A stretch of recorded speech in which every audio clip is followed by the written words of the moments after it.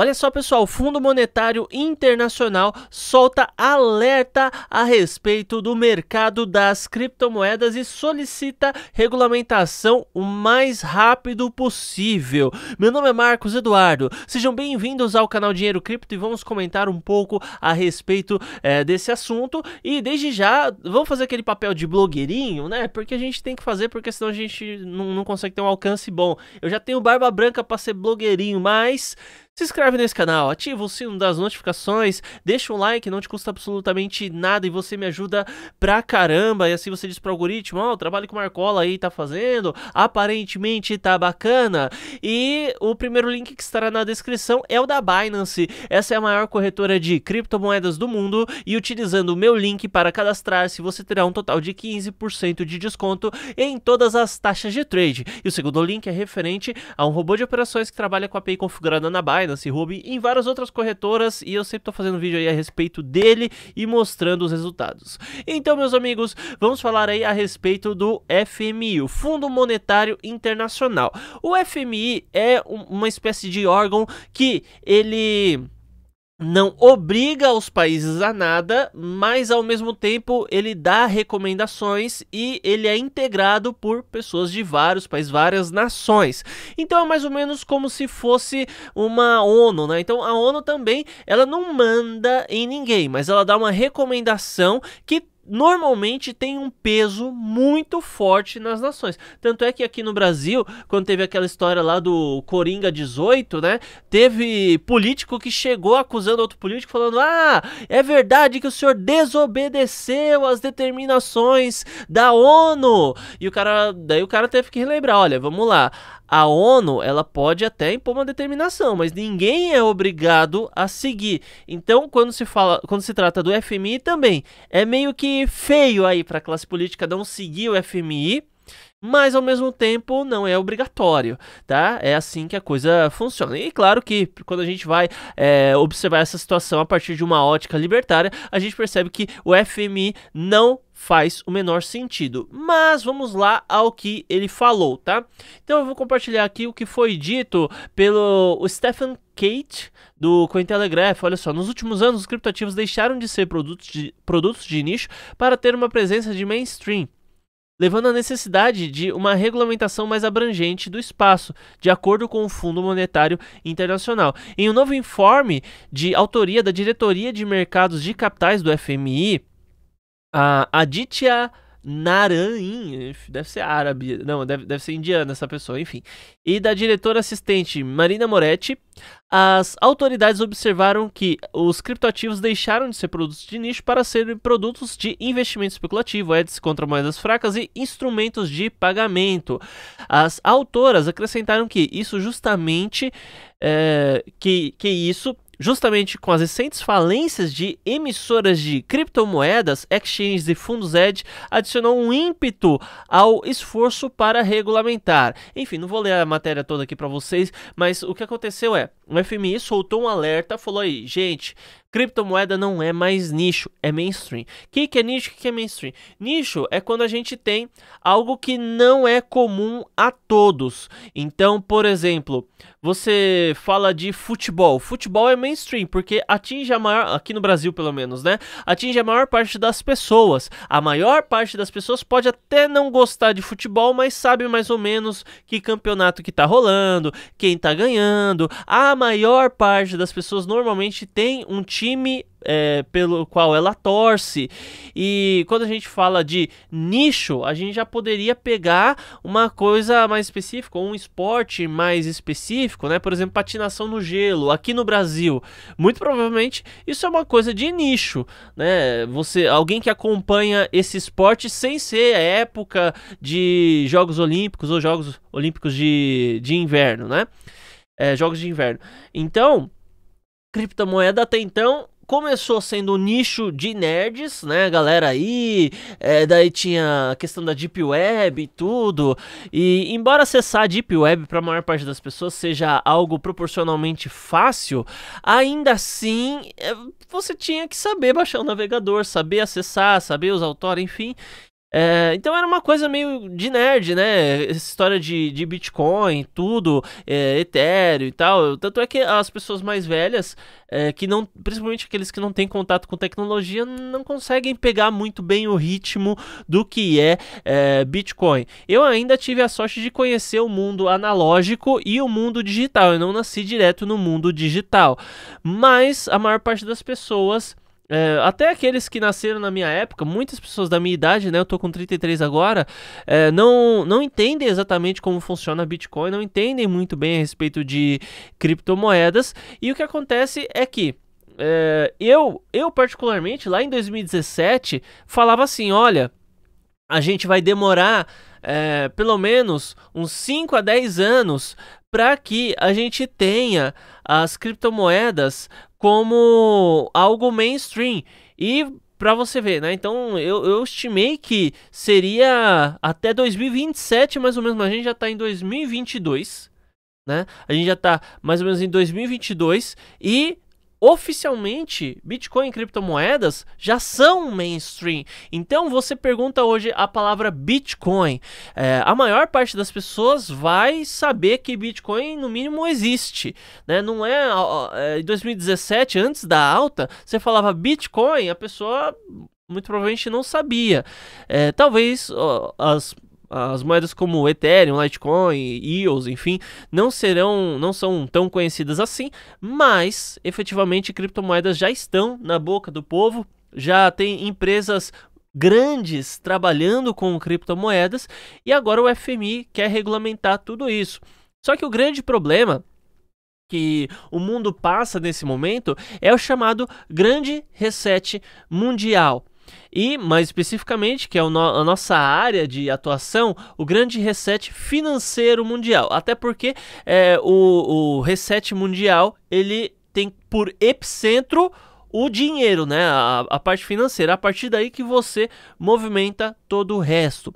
A gente consegue rastrear uh, as principais ações é, que, que vão de encontro à nossa ideia, à nossa percepção a respeito do grande reset mundial a partir de 1970, que foi quando Nixon ele findou a relação que existia do dólar norte-americano no ouro. Porque até então você, em tempos passados, é, antes dos resets anteriores, né, você tinha é, a, a, troca de mercadorias, depois você teve a troca de mercadorias especificamente utilizando é, metais preciosos como ouro, prata e afins, depois você tinha as casas para guardar o ouro, então em troca você tinha uma espécie de papel certificado que você era dono de uma determinada quantidade de metal que você armazenou nessa casa, depois, é, esse ouro ele virou o Estado e dessa casa de guarda-ouro houveram duas direções. Ele se bifurcou, fez um hard fork aí.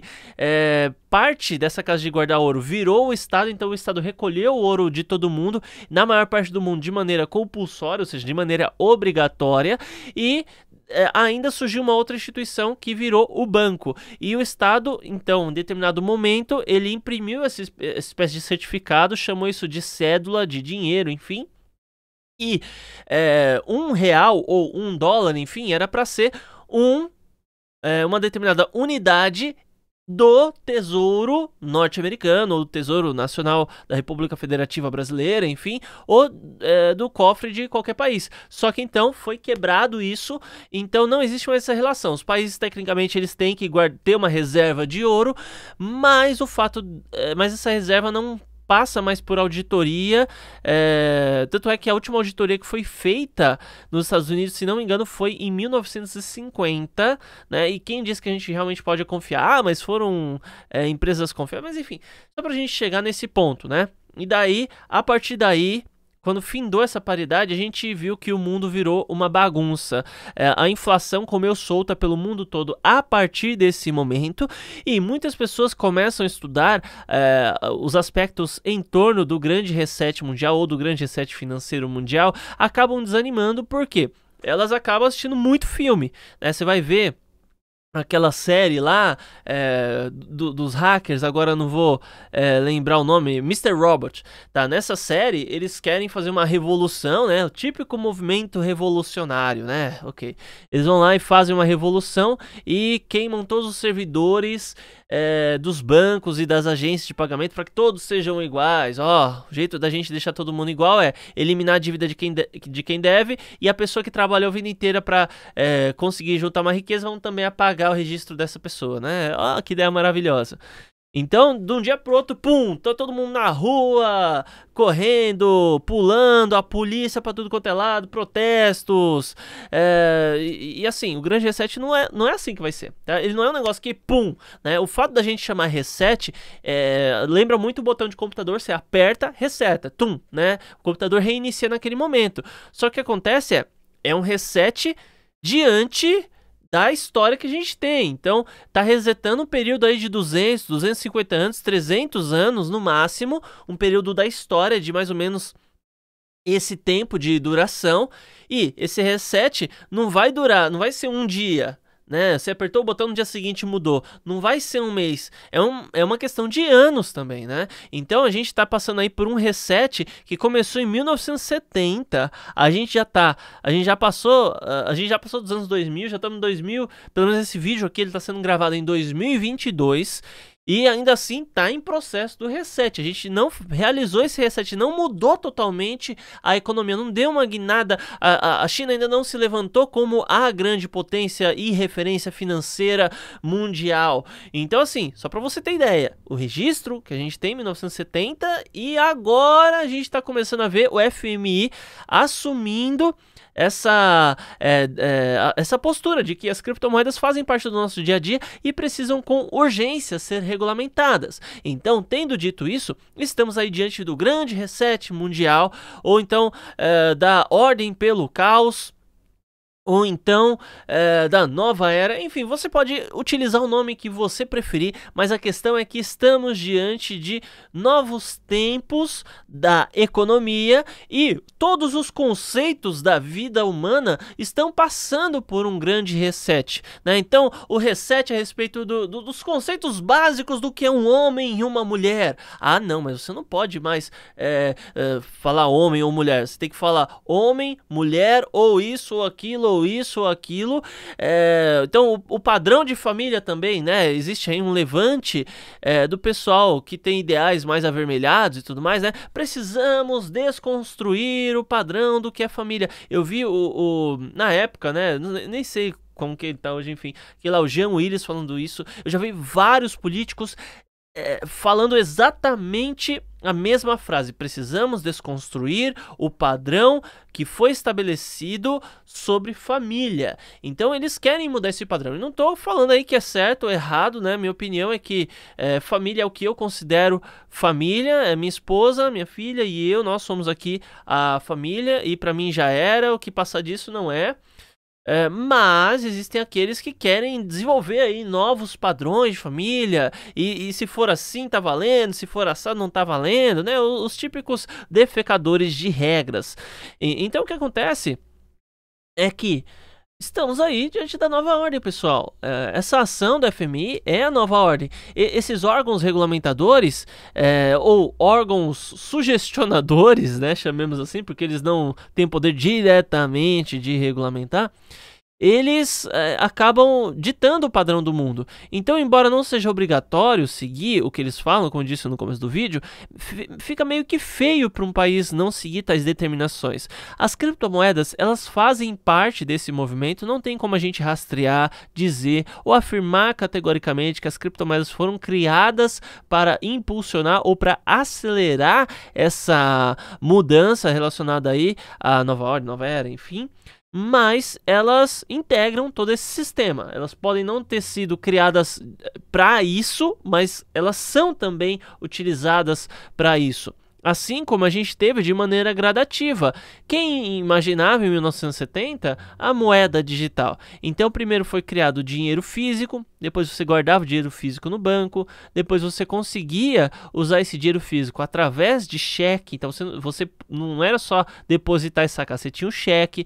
Depois do cheque veio o cartão de débito, depois do cartão de débito veio o cartão de crédito, transferência bancária. No caso aqui do Brasil, a gente já chegou no Pix e por fim fim, teremos aí as CBDCs, moeda estatal, é, e quem sabe um dia realmente venhamos a chegar aí, infelizmente, na moeda mundial.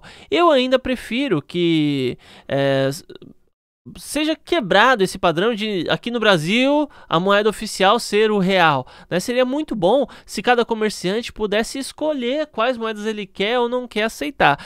É, na verdade, até pode, um comerciante ele pode hoje aceitar Bitcoin, pode hoje aceitar outras moedas, mas isso não é uma coisa que faz parte da nossa cultura e eu nem, eu nem sei se um dia é, vai deixar de ser. Né? Um, um, dia as pessoas vão querer, inclusive, é, trabalhar com mais de um tipo de pagamento, mas eu vejo que isso daí faria total sentido, mas aí já é uma outra história. Então, pessoal, estamos seguindo aí na direção da nova ordem, não é nada que a gente possa fazer para que isso não aconteça. O máximo que pode acontecer no meio desse caminho é alguns fatos, fatores, enfim, fazerem as engrenagens girarem um pouco mais rápido, girarem um pouco para trás antes de depois ir para frente, mas voltar atrás não tem como, a não ser uma grande catástrofe é, mundial aí acontecendo, né? Não sei, daí já, já é um mérito que eu, eu não sei.